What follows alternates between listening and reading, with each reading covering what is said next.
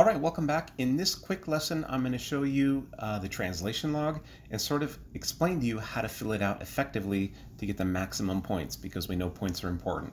All right, so what's the translation log? This log is available on Blackboard, this document. It'll be attached to each assignment that has a translation, so translation one, translation two. There will always be a translation log, log link. You can download the document and start a fresh one. Talk a little bit about what it is, how to fill it out.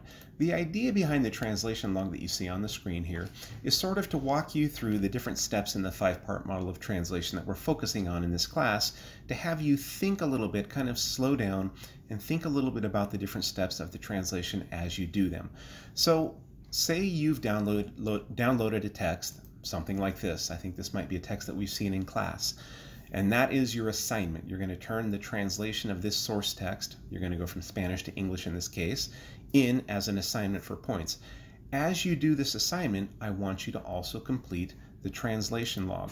Notice that on the translation log, there are different sections, right? And this one says uh, section one, interpretation and analysis. So the first two steps in the translation process. And it says very clearly, before you begin translating, read the source text carefully and answer the following questions about the contextual and textual aspects that influence its meaning. So, first step is, of course, read the source text carefully. And then come back to this table here and you're going to start filling in and this is really the analysis step right? So you're going to answer some of these orienting questions if you remember the previous video. What genre or text variety does the source text exemplify? Hmm, what genre is this? So you might say, oh, okay, this is a, you know, a corporate, and excuse my typing, I'm not going to be very careful, a corporate brochure or an informational brochure about a company. Again, it's not it's not important to be super technical, right? There's not necessarily a right answer, but I want you to think about what kind of text is this? What's the communicative purpose of the text? Okay, hmm, what would this text be used for, right? So you might say something, provide um, information about the history of this particular, what is it? Um, Juan Valdez brand coffee, right? So provide info about Juan Valdez, right? Valdez coffee. You do not need to write a book here. You don't need to write full paragraph length or even sentence length responses in this section. What's the primary language function of the text? Remember, there are three, vocative, informative, and expressive. Well, it's not expressive, in, expressive. It may be informational or it may be vocative. If you think the primary purpose of the language here is to provide information, you would say informative. So here there are only three possible answers, and I want to see you use the word informative, expressive, or vocative. Refer to the previous video if you're still a little bit hazy on those. How would you characterize the intended readership? Again, people visiting Colombia, people interested in Colombian coffee, okay? Um, coffee drinkers, something like that, just to get you thinking a little bit about the readership. Is the linguistic register of the source text more informal or more formal? Okay, we look at that. I'm seeing some technical terms, um, but still it's directed toward a general audience of coffee drinkers. I would probably say something like middle of the road formal. I would put that in here, right? You know, more or less formal. Or not too formal, whatever you think describes the, the register of the text, okay? What's the tone the language used? What's the tone of the language? In other words, what, ad, what attitude does it project about its, its topic?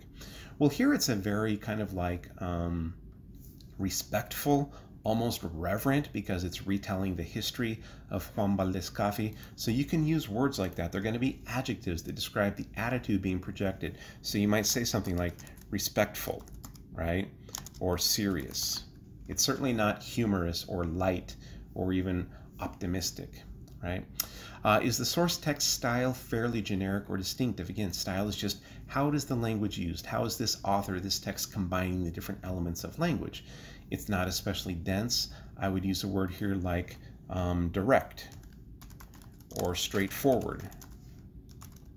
Okay, something like that. It's not particularly dense or complex or peculiar or unique. Okay, um, are sections and segments of the source text purposefully sequenced and carefully connected? So we're looking for connectors like um, however. I would say that they are. They're certainly sequenced historically And there are connectors like desde su nacimiento or en, mi, en el año 2002. So I might say um, yes, right? Um, all right.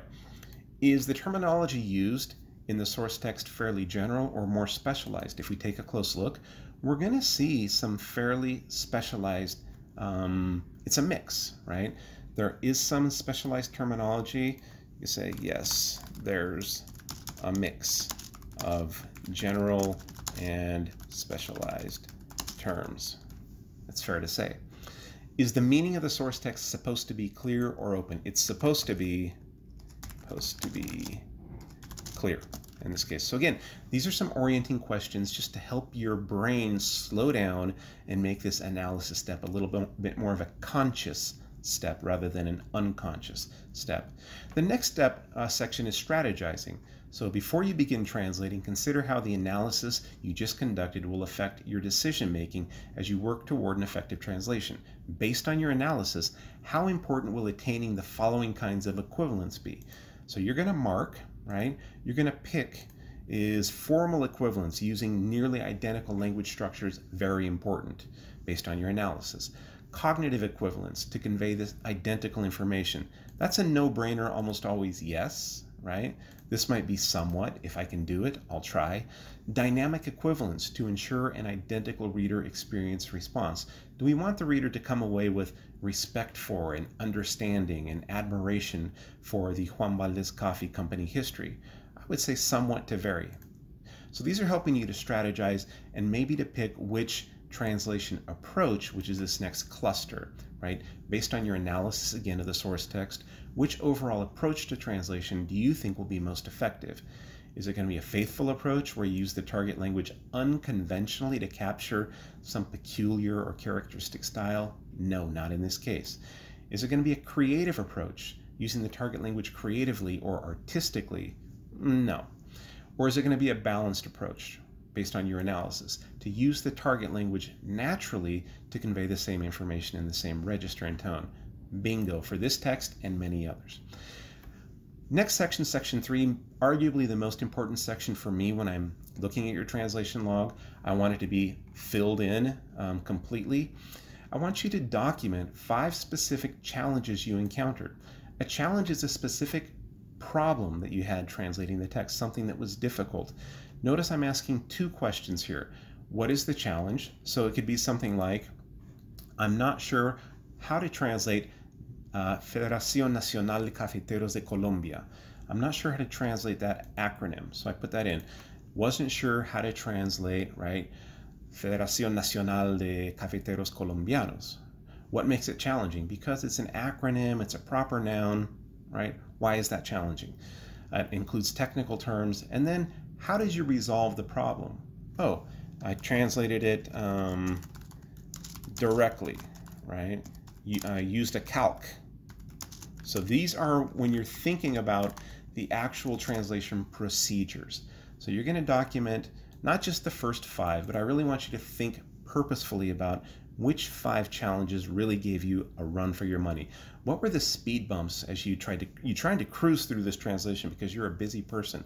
What were the real five speed bumps that made you slow down and really think? And then how did you overcome those? Okay. So I want this section to be filled in thoroughly. Okay. Um, number four, evaluating the effectiveness. So you're going to do a self assessment of your translation. How effective was your translation, right? Looking back and comparing it to the source text. So this has to do with the review step in the process in the model. Which statement below most closely captures how you would rate your own work on this project? Hopefully your self-assessment matches my assessment as the instructor. Okay, so you can read through those descriptions. And then finally, a reflection stage. Um, I want you to write down, describe two insights or two things that you learned through translating this text. It might be something um, specific about how to resolve a particular type of problem oh, I learned that when you're translating the names of associations, you can use a calque and it will be effective, or a direct translation. Or it might be something more gen general about the translation process. It might be something about you as a translator. Okay, it could be something about the differences between source and target language, or something cultural.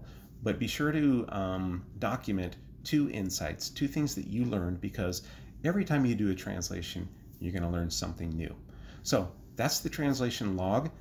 Do it as you translate. Don't translate the whole document and then come back and backfill the log. I'll be able to tell. Do it as you go, before, during, and after.